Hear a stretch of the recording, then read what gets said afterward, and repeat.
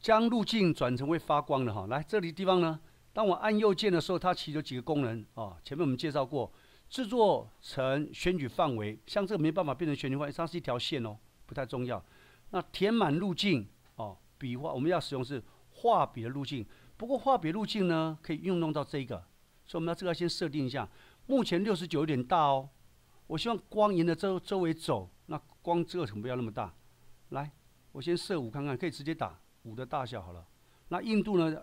这个这样才会自然。这样如果是这样的话，就是线条。那这样的话就有柔边的效果。先设五看看吧。好，接下来设完以后呢，好，这个地方呢，来再点它，按右键，sorry，按右键的地方告诉他。笔画路径，那目前是笔刷就对喽。那请你点这个叫模拟笔压，啊，那要做之前，别忘了我们要再做在这里要加个图层，sorry，要加个图层了，先删掉。这个要加个图层哦，加个图层，等下让它线画在这里，不要画在这里。画在这里，如果不要还可以删掉。如果画在这里，我画死就值了，糟糕了。这里哦，所以确定在这个地方加个图层，好，按右键的笔画路径，确定是笔刷，而且打勾。线条就出来了，哇！线条就是前景色呢。啊，老师颜色不喜欢，Ctrl 机后微笑，我希望白色的。交换，这一颗就教我们刚的这前景色，再一次吧。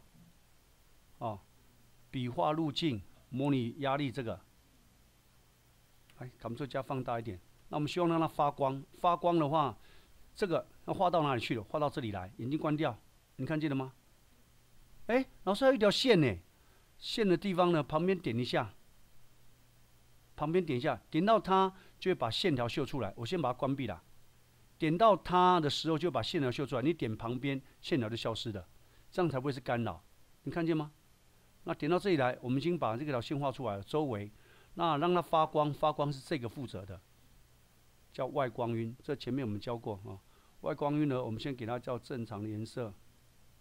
好，来展开这光晕的效果，这里，哦，这光晕的效果，这这个。这外光晕啊，这个可以来稍微调一下，呃，当大小在这边调这个，哦，因为那笔画太粗了嘞，那我觉得不要了，不要说我们要觉得太粗了，怎么办？加个图层把这层删掉就好了。我要再描一次，我觉得五太粗了，来来来，再一次，先设这个，在这里改，我刚发现的细的，删就好了。我再一次哦，哦。确定是在这里，等一下画在这里，然后再回到这里来，来按右键，按右键，告诉他，这滑鼠不够好，有时怪怪才会变这样啊。笔画要以笔刷，就是我们刚设的啊，确定是白色。这个，然后接下来移到这里来，那再提醒你哦，这时候它那条线还会出现在这里，请你旁边点一下，啊，旁边点一下，然后点到这里，再来透过这个来让它做。发光的效果，外光晕，光晕在这里，啊，这光晕在这里。那光晕在这里呢？来，我让它大一点，再看一下这个，这个是可以来调。哦，这个可以来调。哦，像这样，好吧。那接下来老师，那有环绕的效果？环绕的效果呢是怎么样？来，早上我们有没有学过遮罩的效果？来，遮罩，哦我把这这地方把它遮起来，我希望光是这样环绕上去的。所以呢？这个是到这里呢，这一段应该看不见。来放大，卡门多加放大，我就把这段遮起来。遮起来的时候呢，要用什么遮？黑色来遮，要涂在这里哦，涂在这里哦。然后我就拿那个笔刷来涂就好了。呃，这有点小了，对不对？大一点吧。那笔刷这次涂就要干干净净，我比较好认。二十四，我涂超过了，卡门多机后尾，再小一点好了。二十四太大了一点，因为笔这我们只把这个涂掉而已。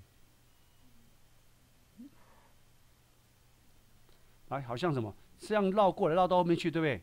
然后再这样，呃，这个应该也是要这样绕去后面，对不对？然后这边绕出来，这里应该也在后面。其实就是把它遮起来的原理了，就在做这个。哦，所以你可以在做自做出自己的环绕，Ctrl 减缩小，好像光是沿着周围这样绕上去的。所以你要想清楚，这个沿到后面，所以这一段我是其实把它遮起来了。